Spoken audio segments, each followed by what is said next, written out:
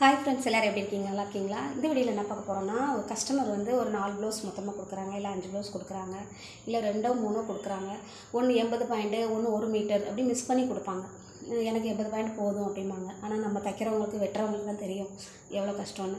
அந்த மாதிரி கொடுக்குறவங்களுக்கு அதிகமாக எது கொடுக்குறாங்களோ அந்த ஒரு மீட்டர் இருக்கிறதுல ஃபஸ்ட்டு கட் பண்ணிவிட்டு எப்படி போட்டு கட் பண்ணலாம் அப்படிங்கிறத வாங்க இந்த வீடியோவில் பார்க்கலாம்.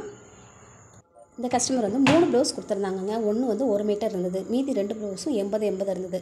அவங்க ஃபஸ்ட்டு டைம் கொடுக்குறதுனால வந்து எனக்கு என்னென்னா திருப்பி கொடுக்கறதுக்கும் மனசு இல்லை. இதை எப்படி எப்படி கட் பண்ணலாம் அப்படிங்க முடிஞ்ச அளவு நம்ம ட்ரை பண்ணி பார்ப்போம். இல்லைன்னா திருப்பி கொடுத்துடலாம் அப்படின்னு சொல்லிட்டு ஐடியாவில் இது என்னென்னா ரொம்ப க்ளோஸ் நெக் வேறு. நம்ம வந்து நார்மலாக ஒரு ப்ராடான நெக்காக இருந்தால் அந்த நெக்கில் உள்ள பீஸ் வச்சு ஒரு அட்டாச் பண்ணுறதோ ஏதோ பண்ணிக்கலாம்.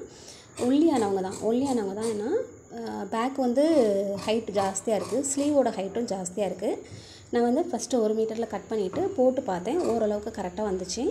இப்போ பாருங்கள் இந்த சைடில் லைட்டாக ஒரு ஒட்டு வருது ஃப்ரண்ட்டில் அது ஒன்றும் பிரச்சனை இல்லை. அது வந்து சைடில் போயிடும். அதனால் அது பிரச்சனை இல்லை. எனக்கு ஃப்ரண்ட்டு வந்து மெயினாக ஒட்டு வரக்கூடாது. அதுக்காக ட்ரை பண்ணி போட்டிருக்கேன். அதுவும் இல்லாமல் நெக்கில் வந்து பைப்பிங் வச்சுருக்காங்க.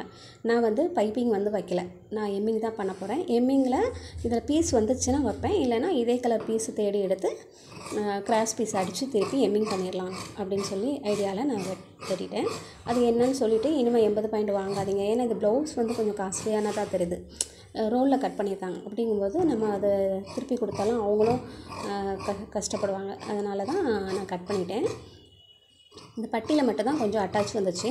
அட்டாச் வந்தது அது என்னென்னா இப்போ கட் பண்ணி மீதி பீஸ் எல்லாம் நீங்கள் பார்ப்பீங்க. அந்த மீதி பீஸில் வந்து நம்ம கிராஸ் பீஸ்லாம் கட் பண்ணிடலாம் அப்படின்னு நினச்சேன்.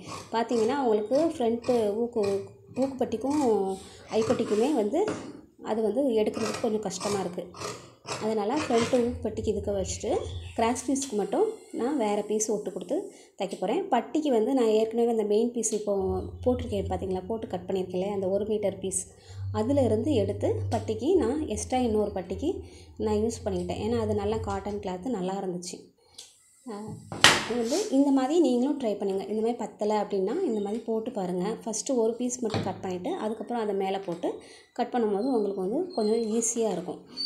முடிஞ்சளவு அதை எப்படி அதாவது இந்த டைரெக்ஷனில் தான் போடணும் அப்படின்னு இல்லை. கொஞ்சம் உங்களுக்கு வாட்டமாக எப்படி தோணுதோ அந்த மாதிரி நீங்கள் போட்டு கட் பண்ணி பாருங்கள் கிராஸ் பீஸாக இருந்தால் கொஞ்சம் கஷ்டம்தான் இது நேர் பீஸ் நேர் பீஸ் ப்ளவுஸுங்கிறதுனால நேர் கட்டிங்னால எனக்கு வந்து கொஞ்சம் கரெக்டாக வந்துச்சு. இந்த பட்டியில் மட்டும் ஒரு ஒன்றரை இன்ச்சு வாக்கில் எப்படியும் நம்ம சைடில் வந்து லாஸ்ட்டு தைக்கும் போது கொஞ்சோண்டு கட் பண்ணுவோம் இல்லைங்களா? அதனால் கொஞ்சம் ஒரு ஒன்றரை இன்ச்சுக்கு நான் வந்து அதில் ஒரு சைடு பீஸ் வந்துச்சு. அதை வந்து அதை யூஸ் பண்ணிக்கிட்டேன்.